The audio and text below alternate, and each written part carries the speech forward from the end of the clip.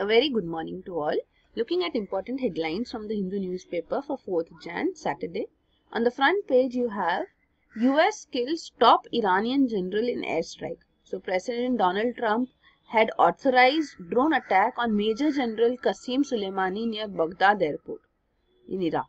And here you can see this Iranian Major General has been killed. He is the head of the elite Quds force. So this is going to further strain the relations and between India, between USA and Iran. India has also expressed concern and has called for restraint. Then this is Pinarayi writes to 11 CMs on CAA. So this is regarding Citizenship Amendment Act. Kerala Assembly passed a resolution against an act and now uh, Chief Minister is asking other CMs also to pass a resolution against Citizenship Amendment Act. And Punjab government has backed Kerala government on this. And this is PM asks students to innovate, patent. So New India, New India needs technology is what he says. So he called upon students to innovate, patent, produce and prosper. So this was his inaugural speech at the 107th Indian Science Congress in Bengaluru. Then this is actually a rally taken out by ASHA, that is accredited social health activists. So the, these ASHA workers took out this rally seeking higher wages and permanent jobs and they plan to continue the strike till Karnataka government meets their demands. And below you have special provisions likely for Jammu and Kashmir residents in jobs, land rights. So government is now considering Himachal model to regulate land ownership. So, so central government is said to be all set to provide protection of domiciles, protection to domiciles of Jammu and Kashmir in government jobs, educational institutions and land rights. So we had seen how government had opened up uh, you know, jobs for all. The notification which it brought out means jobs which were earlier restricted only for locals is open to all now. Since Article 370 has been abrogated.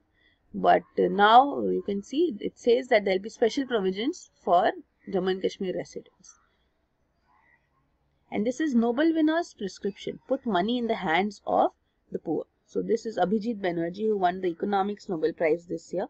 So he is, he has earlier given a statement to and we had discussed it and again he has said the same thing that corporate tax cuts which were done by the government have not boosted demand and he says that corporate tax cuts do not make any sense because corporate sector is not in requiring liquidity.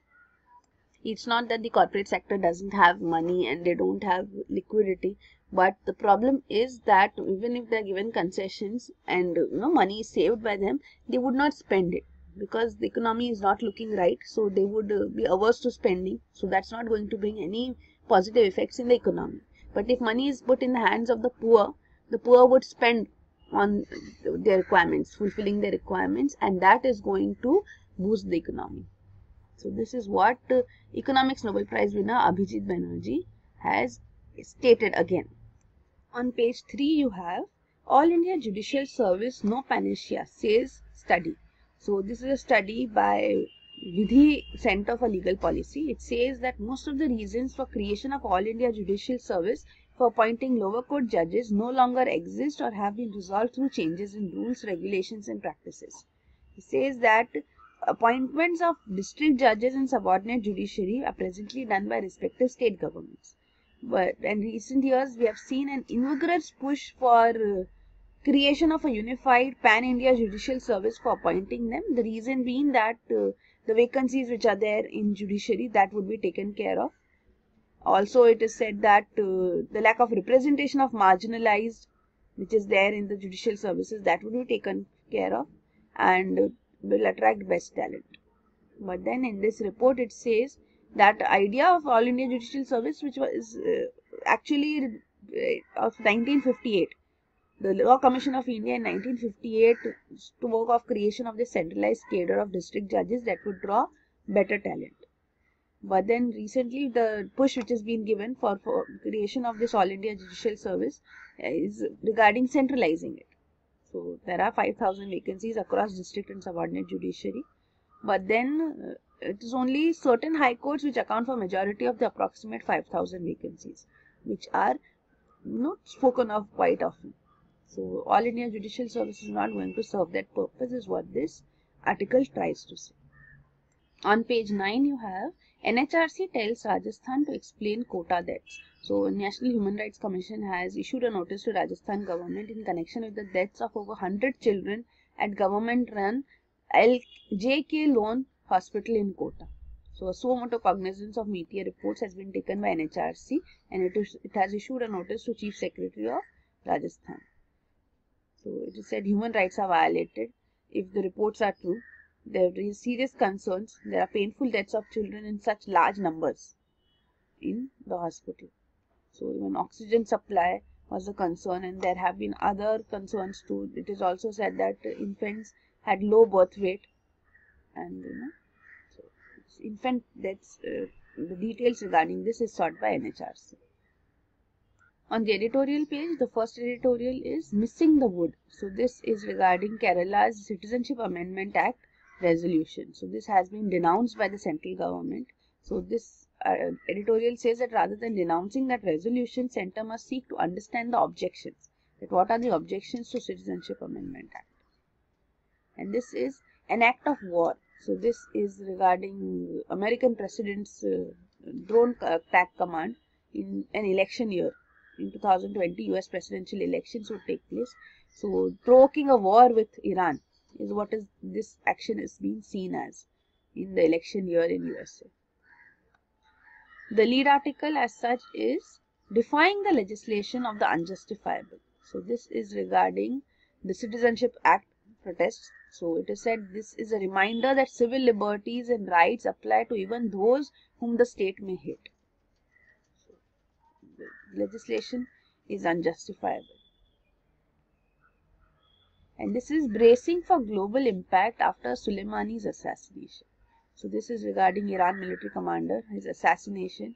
You know, after this, there are apprehensions that Iranian commander's death will be avenged by a thousand cuts.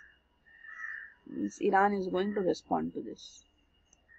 Then on Saturdays, you have this ground zero coverage on one particular issue in news. So today it is living in fear of a law and the law enforcers. So this is regarding the violence during protests against Citizenship Amendment Act and police firing that has left many dead and hundreds wounded. So people are too scared to step out of their homes. Locals blame outsiders for stone pelting that set off the chain of events. And police point the finger to leftists and Muslim outfits. Here you can see it is said that the riots as such or the these uh, violence in protests took place through outsiders who started pelting stones. So the protests were peaceful and only peaceful protests can bring about results because violence is used uh, in, during these protests is used by the government in power to say that these are rioters and you know defame the entire protests.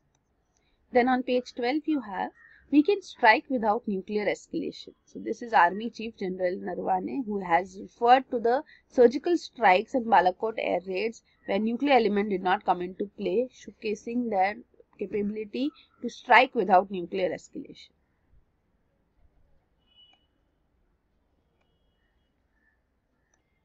Then on international page you have this complete coverage on this uh, front page news on Iranian military general Qasem Soleimani, who has been killed in US drone strike.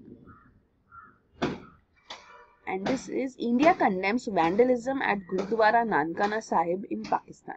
So miscreants desecrated the shrine and threw stones at pilgrims. So India has urged Pakistan to ensure safety of minority Sikh community. On business page you have Adani to buy 75% in Krishnapatnam port. So this is Adani Ports and Logistics SEZ Limited, which will be acquiring 75% stake in Krishnapatnam Port in Nellore district of Andhra Pradesh. So this will be for around 13,572 crore rupees. So here you can see the balance stake will be held by CVR Group, which presently has hold on Krishnapatnam Port. So this acquisition as such is Adani expanding its footprints in Andhra Pradesh now. And this is US drone attack set gold price on fire. So here you can see gold prices have shot up because of the US drone strike on Iranian military general, general which is raising fears of war.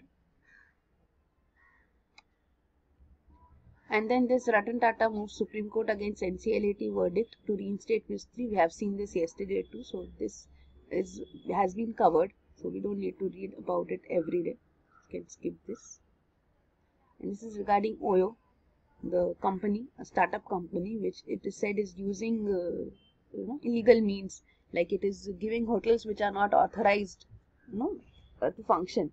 Uh, rooms in that are given sometimes given for free for to police and other executives.